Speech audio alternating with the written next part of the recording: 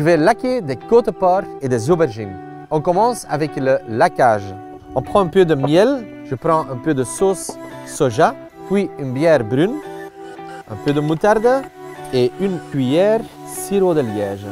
Puis on va bien mélanger tous les ingrédients. Maintenant, on va mettre le laquage sur le côte porc et les aubergines. Maintenant, on va cuire le côte porc et les aubergines tout doucement sur le côté du barbecue. Maintenant, je finis l'assiette avec de nouveau un peu de laquage. Et puis, on met un peu de zeste de citron vert pour donner du fraîcheur. Voilà, les côtes porc et des aubergines laquées.